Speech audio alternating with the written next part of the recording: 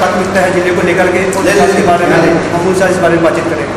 Sir मैं आपका बहुत बहुत आपका स्वागत करता हूँ सर आपकी क्या क्या प्राथमिकता है? जैसे कि नई सरकार भी आई है और आप मेरठ ज़िले की ज़िम्मेदारी कर है तो आपकी क्या क्या प्राथमिकता है देखिए जो मेरठ है वो पश्चिमी उत्तर प्रदेश का तो सबसे महत्वपूर्ण शहर है ही साथ ही प्रदेश और देश का भी एक महत्वपूर्ण शहर है।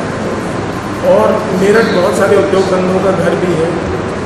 तो मेरी प्राथमिकता यहाँ पर यही रहेगी कि किस तरीके से हम यहाँ पर उद्योग धंधों को बढ़ावा दे सकते हैं। यदि एक बड़ा शहर है तो बहुत सी जो शहरी सुविधाएँ हैं, उनमें भी हमें सुधार करना है, वो भी हमारी प्राथमिकता है। ग्रामीण क्षेत्र भी यहाँ पर काफ़ी है। और ग्रामीण क्षेत्र की मुख्य समस्याएँ ये हैं कि उन्हें समय से किसानों को वहाँ पर जो भी अपने खाद, बीज, पानी इत्यादि का इनपुट चाहिए हो, वो मिल जाए।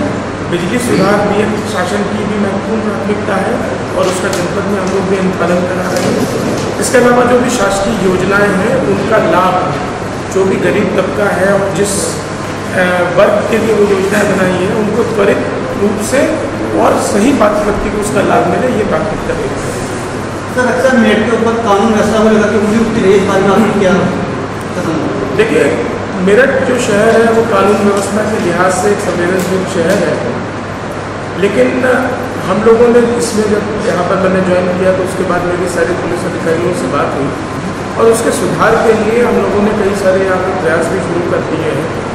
जैसे आप छेड़खानी की घटनाएँ काफ़ी होती हैं, चाहे स्नैचिंग की घटनाएँ काफ़ी होती हैं। उसके लिए हम लोगों ने जो हमारा एंटी रोमियो स्क्वाड काम कर रहा है, वो तो कर ही रहा है।